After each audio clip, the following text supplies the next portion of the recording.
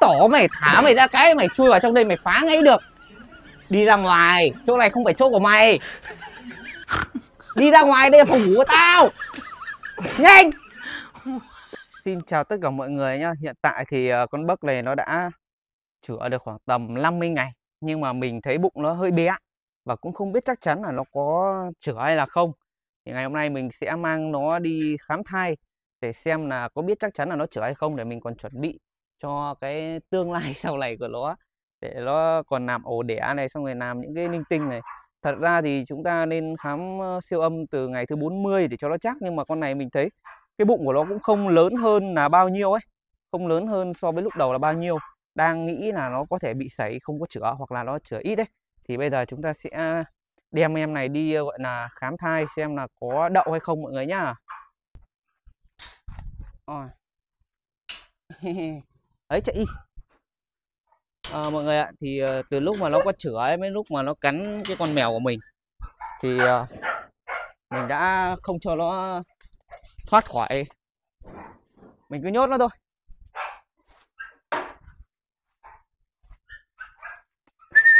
Ui ôi ui ôi. Sau gọi là hơn một tháng gọi là chỉ có nhốt và nhốt thì hôm nay nó mới được thả ra ngoài để chơi đùa. Bác ơi! Bảo nó là không chui vào đấy là cái gì không biết nữa cơ. Bảo là không có chữa thì cũng không chắc được bởi vì là thấy nó béo hơn so với lúc ừ, phối rất là nhiều. Hôm nay cứ mang đi siêu âm cho nó chắc xem là có chữa thật hay không, nhiều con nó chữa giả ấy. Với cái dòng husky này bụng nó cao nên là nhiều nhiều khi gần đến lúc đẻ nó mới xuống bụng, cũng không biết được chắc chắn. Nếu mà chở ít thì thì nó cũng chẳng có có có có bụng nó cũng chẳng to đâu. Đây, thả nó ra mà không biết vì sao nó lại đứng theo cái kiểu này đây. Đứng cái kiểu này là kiểu gì? Trốn à? Hả bấc người ngửi gì vậy? Bấc ơi! Nó đang ngửi ngửi gì đây? Đấy. Đây chính là gia đình của bác mèo nhá. Công ty họ hàng nhà bác mèo mà trước đã bị con bấc này nó đồ sát mất đi một thành viên. Hôm nay cho, gọi là, ra gặp lại cái họ hàng nhà bác mèo.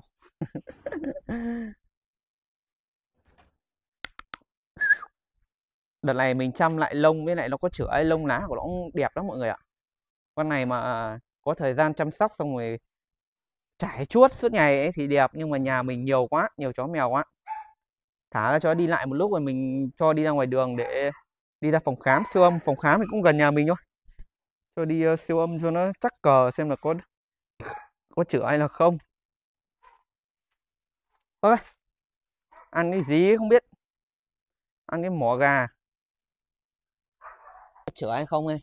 Mà trước khi đi uh, siêu âm thì mình phải cạo lông à chải lông cho nó dòng hớt kia các bạn biết rồi.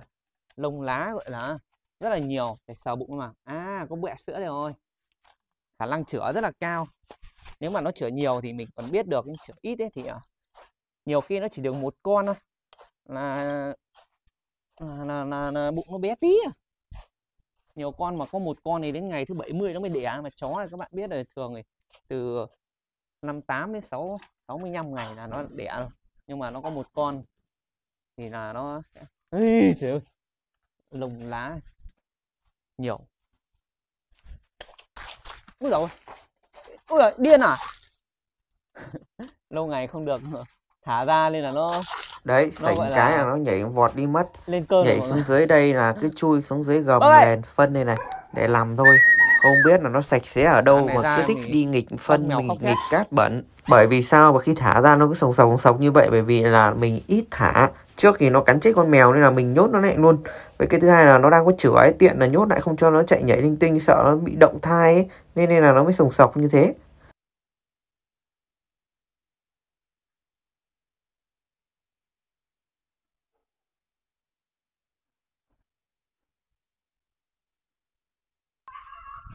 Ok, đi khám thai thôi.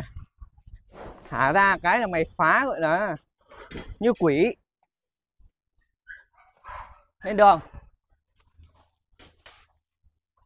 Ý, thôi đi ra ngoài này thôi Trời ơi là rồi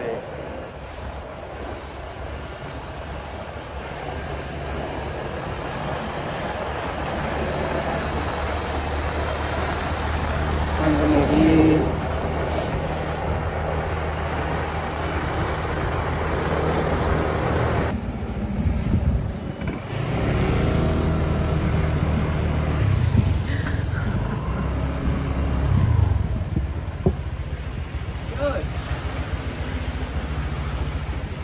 đâu đi đây này đi xa đây em sờ.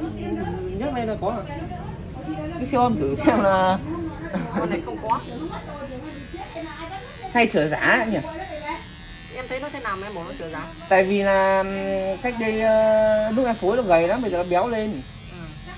nó mập lên ấy.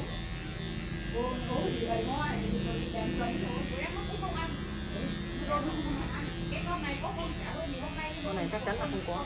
Ờ. không có thì về thả ra chứ nhốt suốt cái đầu mà. bọn này nó ấy em con tơ mà. Phối ở đâu? Phối chỗ nhà. Đâu? Phối ở, ở bên thanh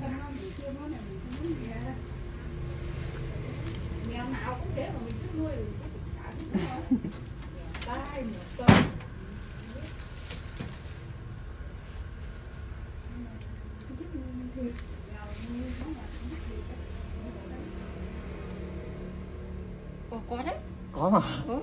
Mấy ngày mà. Hôm nếu mà chó Thế bầu chỉ còn chỉ còn hơn chục ngày nữa thôi còn tầm có bốn năm ngày nó nữa. mới bắt đầu to à?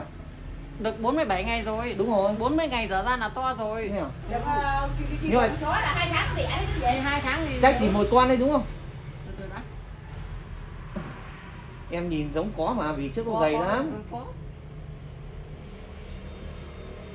nào bác ơi. Bé tí tẹo kìa. Nằm ngó từ từ Chắc mới nửa đầu đi dưới đầu. Ừ nửa đầu nữa đấy bụng trước nó thắt thật mà. Đây, được một đây thì được tí xem được bao ngày. Giữ hộ chị cái chân sau được không? Ok. cái chân này này. Ít nhất thì cũng phải được một con chứ nhỉ? Ừ, ừ.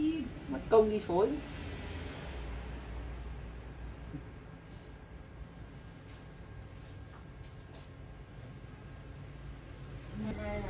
Con này Mẹ của con này Là cũng một lần ốm Tuần này ốm thế là chỉ chuyển nước cho một tuần Ở đâu thế nó về nhà mẹ em thì không đóng cửa phòng của nó Thế là đêm đi Đúng không động được đấy Thế về thấy béo béo lên được năm đứa Bốn đứa trắng tinh một đứa đen xì Mà con con con này được hai con á Hay nhau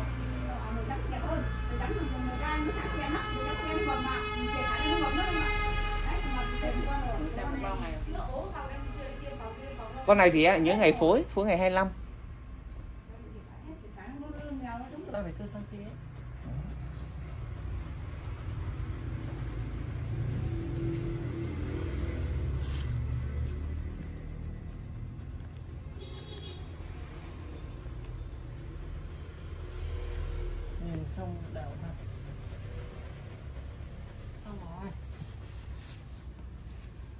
hai đến ba nhóc. Ngon rồi.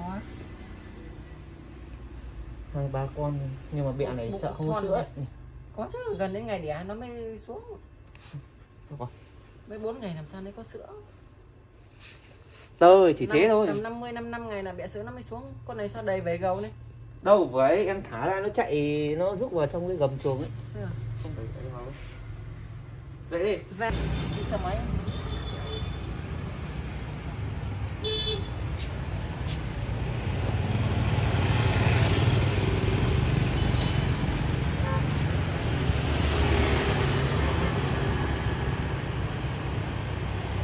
Rồi ok, ngày hôm nay thì mình cho con Bắc này đi khám thai các bạn ạ.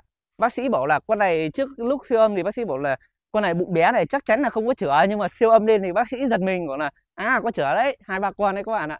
Thế là mình đoán không nhầm bởi vì là mình nuôi chó lâu mình biết những con chó nào mà chó tơ ấy mà phối thì chắc chắn là nó sẽ có chữa. Nhưng mà nó chỉ chữa ít hay chữa nhiều thôi. Đấy con này thì nó béo lên nhiều mà. Nên là bác sĩ bảo là con này rơi vào tầm 2 đến 3 con, ngày 26 tháng 12 thì dự kiến là sinh. Đấy thì không biết là như thế nào rồi rồi rồi, bây giờ về mình cứ chăm sóc theo chế độ bà chữa thôi. Bây giờ là thả cho đi ờ, chạy nhảy được rồi. Ok, đi. Biết là có chữa rồi nên là về chăm sóc nó cũng tốt hơn các bạn ạ. Đi, về thôi bơi rồi, cho bác đi về thôi.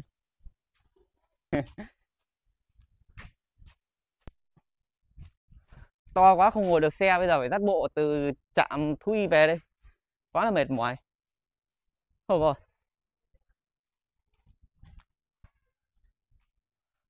tổ mày thả mày ra cái mày chui vào trong đây mày phá ngay được. Đi ra ngoài, chỗ này không phải chỗ của mày. Đi ra ngoài đây là phòng ngủ của tao. Nhanh! Lên go! Đi ra ngoài á. Đi ra ngoài, chỗ này không phải là chỗ của mày. Lượn. Chứ sư mày. Ê sắp được làm mẹ rồi. Thì à, uh... bác Đấy. thả ra là nó phá thả ra là quậy nó gọi là bới tung mù lên chui giúp khắp nơi. Vừa lấy thì uh, chui hết chuồng uh, chuồng chó rồi xong rồi lại chui vào phòng của mình. Đúng là con này là con báo rồi bây giờ nó mà đẻ ra hai con báo nữa thì đúng là hết thuốc chữa. Bác ơi. Nhìn mặt hài vãi.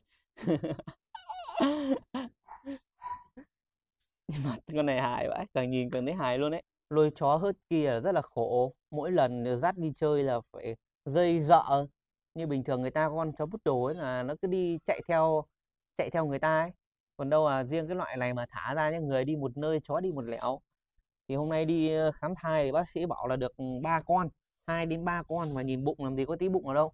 Trông cứ như kiểu con chó ờ, con chó ờ, suy dinh dưỡng ấy đấy, nhưng mà khám thì siêu âm ra rồi, bác sĩ bảo thấy con to phết thì cái dòng này nó là bụng nó dài nên là nó chữa cao, nên là đến những ngày cuối thì nó mới xuống bụng cơ. Hôm nay cho ra ngoài tiện, gọi là, mình trải lông cho nó luôn, cho nó đẹp. Đợt này lông lá gọi là, dụng hơi nhiều ấy. Ấy ra ấy ra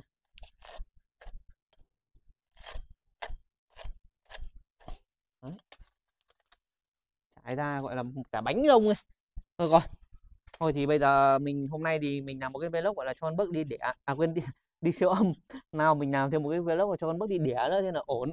Bây giờ mình sẽ cho nó vào chuồng để chuẩn bị bữa ăn cho bọn nó đây. Xin chào mọi người, hẹn mọi người cái clip sau nhé